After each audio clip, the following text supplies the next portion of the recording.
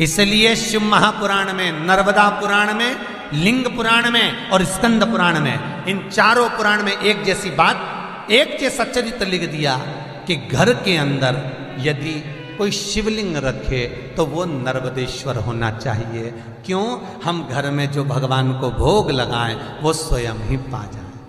उसको कहाँ? बैरागी को देने जाएँगे। कहाँ? त्यागी को देने जाएँगे। घर में जो शिवलिंग हो, वो नर्मदेश्वर। हम मंदिर में दीप क्यों लगाते हैं? दिया लगाने का कारण क्या होता है? दिया लगाने का केवल एक कारण होता है। हम भगवान के मंदिर में प्रकाश करने के लिए दिया नहीं लगाते। हम भगवान के मंदिर में उजाला करने के लिए दिया नहीं लगाते। शिव महापुराण, पद्म पुराण, क्या फल इस इस शिवलिंग पर ये तीन उंगली घुमाई जाए तो इसका फल क्या है? तो आपको लगेगा भगवान शंकर को त्रिकुंड लगाना है। बोलो, सही है, गलत है?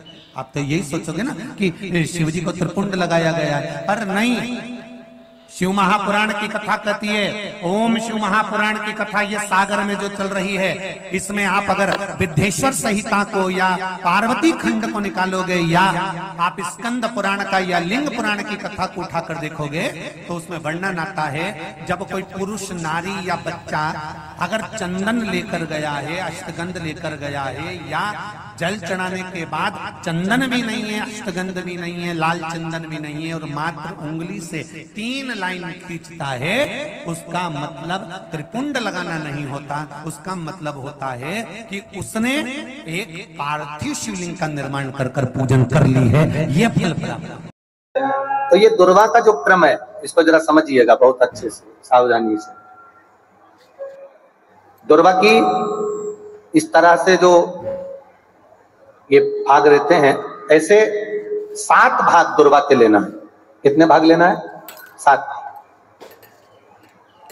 सात भाग दुर्वा के लेकर पाँच बेलपत्र के साथ। बेलपत्री कितनी होना चाहिए? पाँच। सात भाग दुर्वा के लेना है, पाँच बेलपत्र लेना है और लकुलेश महादेव का नाम लेकर भगवान शिव का स्मरण कर, शंकर भगवान पर। प्रदोष या सोमवार की अष्टमी या शिवरात्रि के दिन भगवान देवादिदेव महादेव के शिवलिंग के ऊपर अपने हृदय की कामना कर कर भगवान शिव को समर्पित बाबा देवादिदेव महादेव को